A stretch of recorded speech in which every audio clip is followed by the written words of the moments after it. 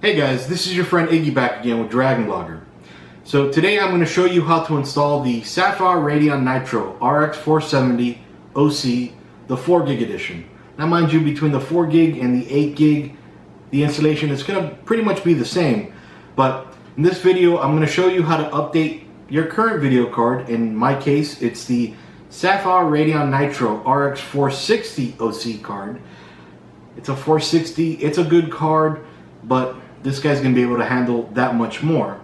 So I'm gonna show you how to upgrade from this card to this card. The video is also gonna be pretty much the same on how to upgrade if you don't have any video card, if you're upgrading from onboard video. Kind of hurts me to say that, but you know, uh, if you're upgrading from your, your onboard video from your CPU, or even if they have a video card on the motherboard, some do. Um, gonna pretty much show you all of that. And uh, well, anyway, come over here real quick and I'll show you how to do it. Alright guys, so again, I'm gonna go ahead and show you how to install the Sapphire Radeon Nitro RX 470 OC card. This is the 4 gig model, but you know, the 8 gig model will be just the same. So first off, in this particular instance, we have a Sapphire Radeon Nitro RX 460 card. I'm going to show you guys how to remove that card so that you can place the 470 in its place. So before you can remove the card, there's two things we need to do. First off, on the back of the case, mostly it's going to be inside right over here, but on the back of this, the Anidees AI crystal case, we have to remove these screws here. These are actually holding the card in place. So I'm going to go ahead and unscrew the top two.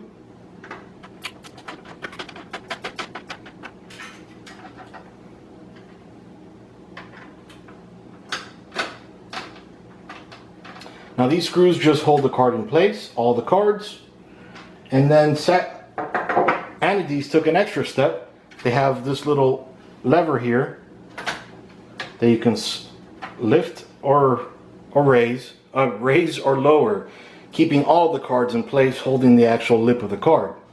All right, so that's one piece. Now the second piece, most motherboards have, very few don't.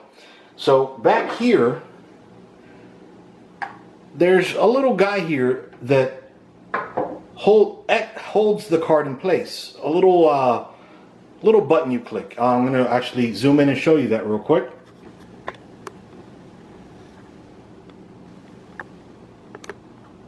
Alright, so this guy right here, you would just, whoops, press it down, and that's going to release the card. Alright, so now since we do have that card already unscrewed, I'm going to zoom out a little tiny bit so you can see it in action. I'm going to go ahead and push this down and pull the card out and that's it. And now I'm going to push it back in so you can see that when I push it back in, it's going to do something click. It's going to click in place, holding the card in place. So I'm just going to show you here. Watch real carefully.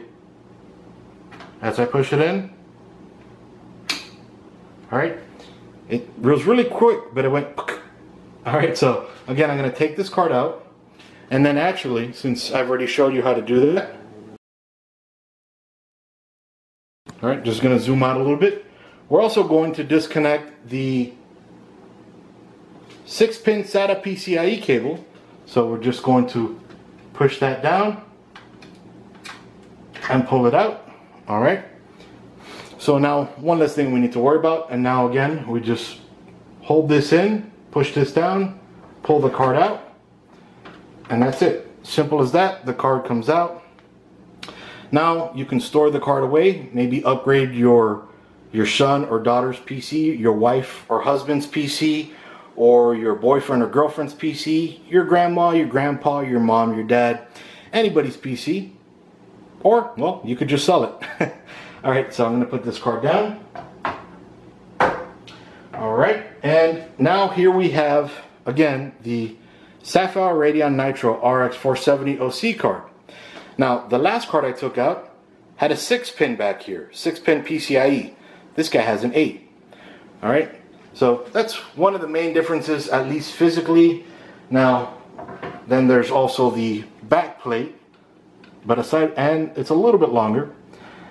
It also, the RX 470 also does have a few more outputs, but you know, it is a relatively inexpensive card. And actually the 470 OC, it's not too bad either. But anyway, so now we're going to kind of repeat the process in reverse, though we don't have to push down that little lever there.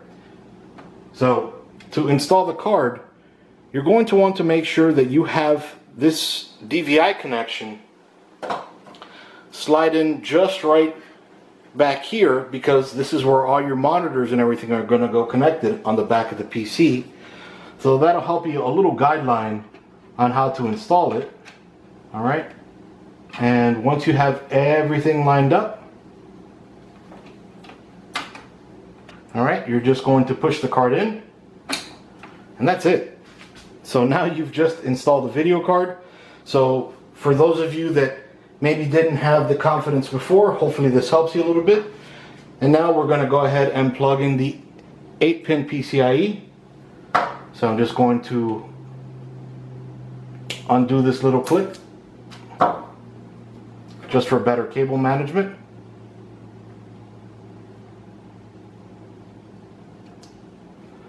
All right. And then I'm going to go ahead and install this guy onto the card itself. You can see right here. All right.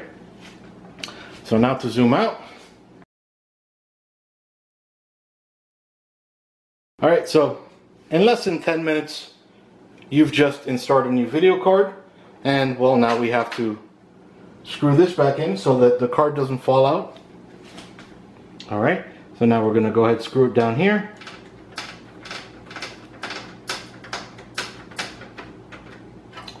And last but not least,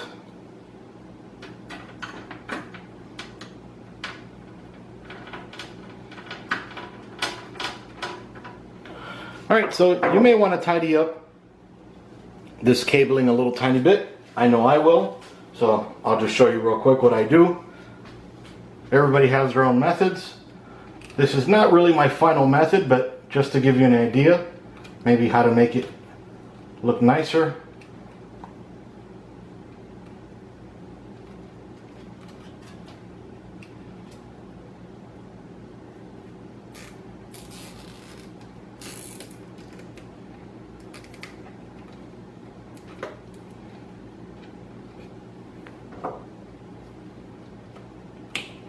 All right, so again, there are much nicer ways. I'm just doing it real quick to show you guys.